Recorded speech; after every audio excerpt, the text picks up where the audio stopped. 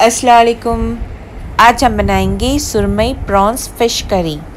बहुत ही टेस्टी मच्छी करी बनती है ये। आप इसे ज़रूर बनाइएगा और खिचड़ी के साथ उसको सर्व कीजिए। सबको बहुत पसंद आएगी। इसके लिए हमें चाहिए सुरमई फ़िश। अच्छे से साफ़ करके, क्लीन करके लीजिए। अराउंड टू कप्स फ़िश है। और साथ में मैंने ली है टेन बड़ी वाली प्रॉन्स, झिंगा।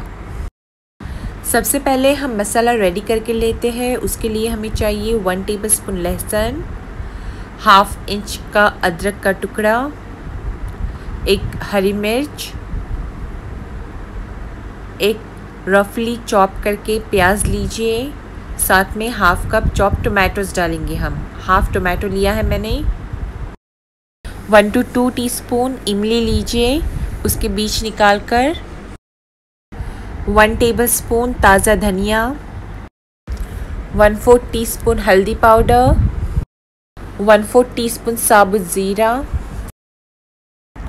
One and half tablespoon लाल मिर्च powder half teaspoon garam masala powder one tablespoon ताज़ी नारियल का बुरादा डालिए वन फोर्थ कप पानी डालिए और उसको ग्राइंड कीजिए एक फ़ाइन पेस्ट बनाकर हम ले लेंगे और साइड में रख लें। एक कढ़ाई लीजिए, उसमें टू टेबल स्पून ऑयल डालिए। थोड़ा ऑयल गर्म होने के बाद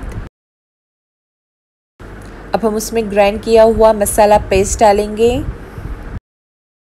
15 मिनट्स के लिए उसको कंटिन्यूसली लो फ्लेम पर भूनिए।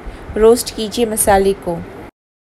15 टू 20 मिनट्स के बाद वन टीस्पून सॉल्ट नमक डालेंगे। अच्छे से मिक्स करके लीजिए। ऑयल भी रिलीज़ हो चुका है। अब हम इसमें डालेंगे टू कप्स पानी। गैस को रखिए हाई फ्लेम पर। एक डंडी कड़ी पत्ते की डालिए। अब पानी में बॉईल आने तक वेट कीजिए। बॉईल आ गया है। हमें टू मिनट्स के लिए हाई फ्लेम पर ऐसे ही उसको बॉईल करना है कुक करना है। दो मिनट के बाद अब गैस को कीजिए लो फ्लेम पर। अब फ़िश रेडी करके ले लीजिए वॉश करके। मैंने यहाँ पर झींगे और सुरमई फ़िश ली है। इसे अच्छे से साफ़ करके वॉश करके हम ग्रेवी में डालने वाले हैं।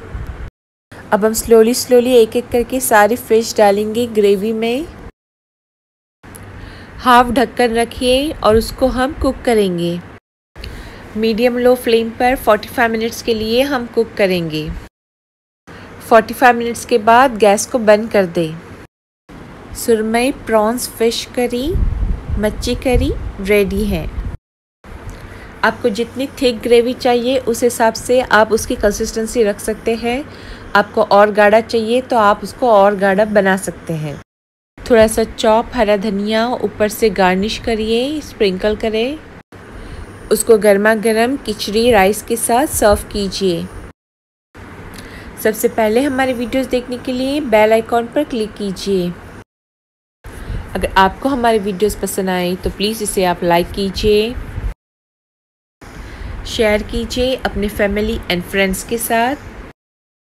And please do subscribe my channel. Thank you. Mmm, delicious.